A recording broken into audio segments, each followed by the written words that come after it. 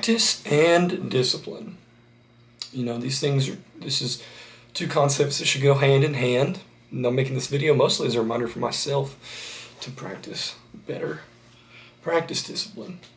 So, what does that mean? Well, you know, whenever we're first getting started, or this is for me personally, whenever I was first getting started, I had a lot of time to spend on the instrument, a lot of time to, you know, love on it, and a lot of time to do what I wanted to.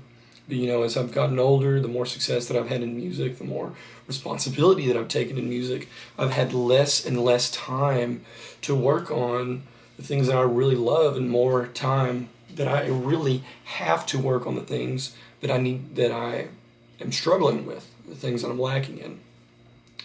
So uh, lately, I've been reading Mastery by Robert Greene, and in that, you know, what I've taken away for the biggest the biggest thing that I've taken away from it is to attack your weaknesses. Attack the things that you're struggling with and that you're not the best at. And in that you're gonna get you're gonna get way more out of that than playing the same thing that you're good at over and over and over.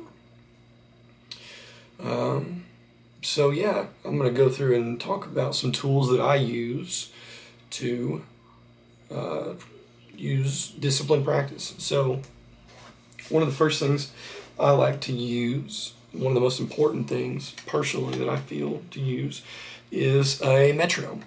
So these come in sh different shapes and sizes. Here's one of the old schooly ones.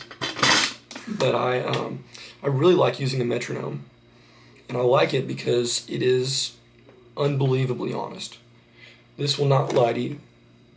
And this will help you immediately attack whatever you're struggling with. I, I really like this one. This is the uh, the Dr. Beat from Boss. You know, you can use your quarter notes. You can get eighth notes in there. Get sixteenth notes, triplets.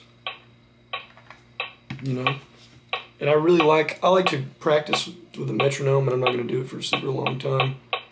But I'll throw on eighth notes, and you can just try and play chords to it.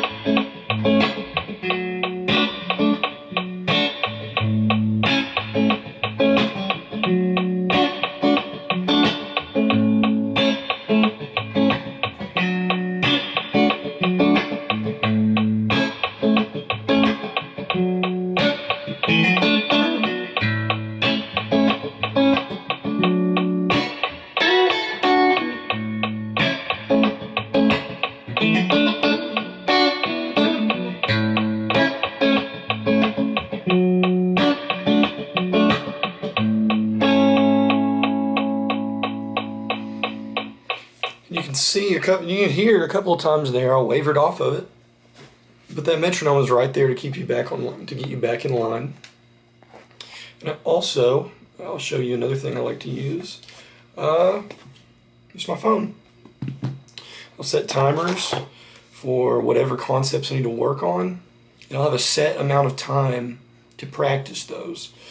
And I just will continuously do them until my timer goes off you treat it like an alarm clock, right? So whenever you set your alarm clock in the morning, you know, you're not, or at night, you're not concerned about doing anything else but sleeping, right?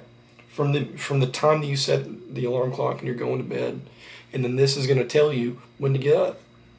So I set my alarm clock on my phone, and I use my phone the same way while I'm practicing to keep me honest, keep me practicing what I need to work on you know, in in my experience and all the things that I've done, I catch myself whenever I'm playing guitar. Uh, I'll play a lot of the things you know that sound good on a Strat. I'm sitting down with my Strat.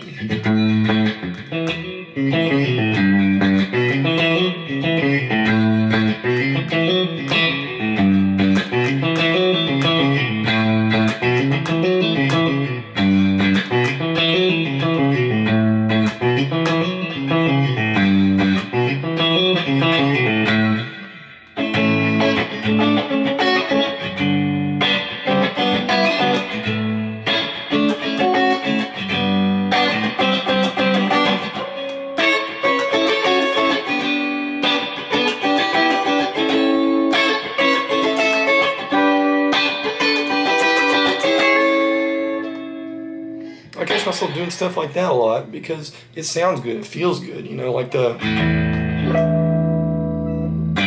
Oh.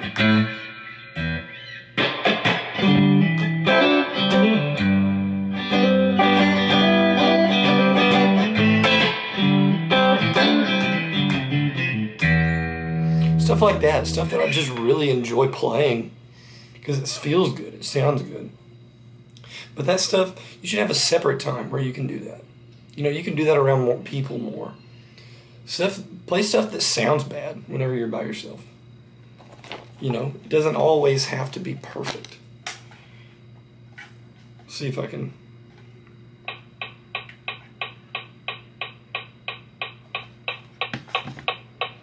Using your metronome, sit alone, play your scales.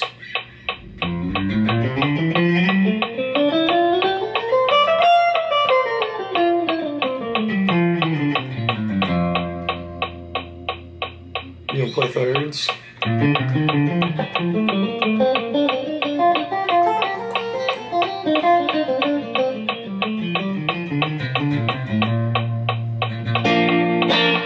Play stuff like that.